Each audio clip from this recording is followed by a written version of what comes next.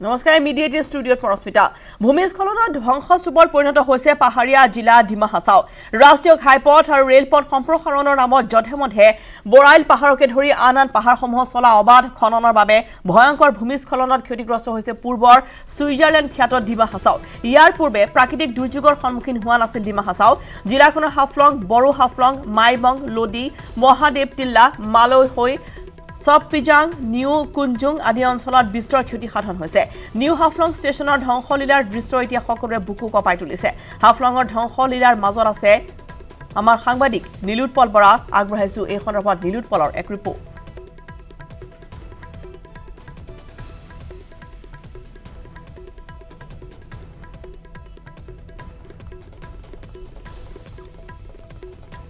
আৰু দেখুৱাইছোঁ কেনেধৰণৰ আচলতে ধ্বংসস্তূপত বৰ্তমান পৰিণত হৈছে হাফলং। আৰু সমান্তৰালভাৱে আমি দেখুৱাইছোঁ যে পাহাৰীয়া জিলাখনলৈ এনেদৰে আচলতে যাতায়াত কৰাত যথেষ্ট ব্যাঘাত জন্মিছে য'ত এনেদৰে ভূমিস্খলনৰ ঘটনা সংঘটিত হৈছে পাহাৰীয়া জিলা ডিমা হাছাও ৰাষ্ট্ৰীয় ঘাইপথ আৰু ৰেলপথ সম্প্ৰসাৰণৰ নামত যধে মধে বৰাইল পাহাৰকে ধৰি আন আন পাহাৰসমূহ চলা অবাধ খননৰ বাবে ভয়ংকৰ ভূমিস্খলন আৰু এই ভূমিস্খলনত ক্ষতিগ্ৰস্ত হৈছে পূৰ্বৰ ছুইজাৰলেণ্ড খ্যাত ডিমা হাছাও দুটাকৈ দৃশ্য আমি দেখুৱাইছোঁ। আগৰ দৃশ্যৰ তাৰ পিছতেই যেনেধৰণে আচলতে এক পৰিস্থিতি বৰ্তমান উদ্ভৱ হৈছে য'ত প্ৰাকৃতিক দুৰ্যোগৰ সন্মুখীন হোৱা নাছিল পূৰ্বতে ডিমা হাছাও কিন্তু বৰ্তমান জিলাখনৰ হাফলং বড়ো হাফলং মাইবং লোডি মহাদেৱ টিল্লা মালহৌ চবপিজাং নিউ কুঞ্জুং আদি অঞ্চলত বিস্তৰ ক্ষতি সাধন হৈছে। নিউ হাফলং ষ্টেচনৰ ধ্বংসলীলাৰ যি দৃশ্য সেয়া সকলোৰে বুকু কঁপাই তুলিছে। হাফলঙৰ ধ্বংসলীলাৰ মাজত এনেদৰে বাতৰ বাতৰি সংগ্ৰহ কৰি আছে আমাৰ সাংবাদিকে।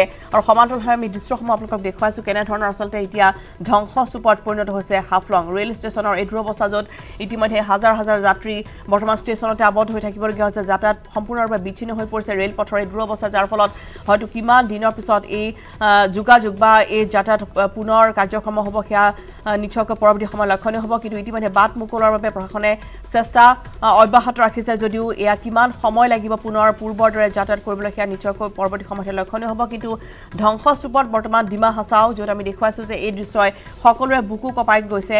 এসময় এখন পাহাৰীয়া জিলা ডিমা হাছাও য'ত আচলতে প্ৰাকৃতিক সৌন্দৰ্যৰ বাবে পৰ্যটকসকলৰ আকৰ্ষণৰ কেন্দ্ৰবিন্দু আছিল সেই বৰ্তমান সেই হাফলঙৰ এই দুৰৱস্থা এতিয়া ভূমিস্খলনৰ ফলত এতিয়া স্তব্ধ হৈ পৰিছে জনজীৱন। ডিমা হাছত প্ৰকৃতিৰ সংসাৰৰ পিছতেই দেখিবলৈ পোৱা গৈছে পাহাৰীয়া জিলাখনৰ এই দুৰ্বিষহ ৰূপ।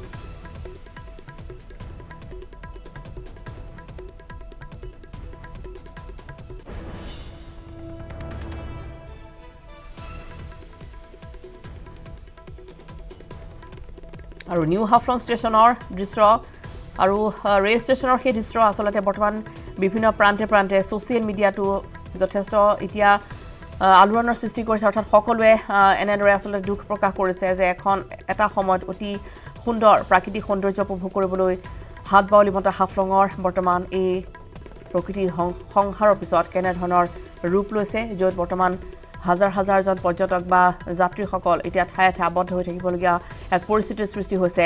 বিভিন্ন অঞ্চল বৰ্তমান ধ্বংসস্তূপলৈ পৰিণত হোৱা পৰিলক্ষিত হৈছে য'ত যাতায়াত সম্পূৰ্ণৰূপে বিচ্ছিন্ন হৈ পৰা পৰিলক্ষিত হৈছে। ৰেল ষ্টেচন সম্পূৰ্ণৰূপে পানীৰ তলত আৰু পাহাৰৰ পৰা মাটি খহি অহাৰ পিছতে এনেদৰে সেইসমূহ ৰাস্তা মুকলি কৰাত প্ৰশাসনে তৎপৰতা অৱলম্বন কৰিছে যদিও পুনৰ সেই কাৰ্যক্ৰম হ'বলৈ বা পুনৰ সেই যোগাযোগ সুচল ৰূপত হ'বলৈ কিমান দিনৰ প্ৰয়োজন হ'ব সেয়া এতিয়াই ক'ব নোৱাৰি কিন্তু আমি দেখুৱাইছোঁ যে পাহাৰীয়া জিলাখনৰ জনজীৱন বৰ্তমান সম্পূৰ্ণৰূপে স্তব্ধ হৈ পৰা পৰিলক্ষিত হৈছে।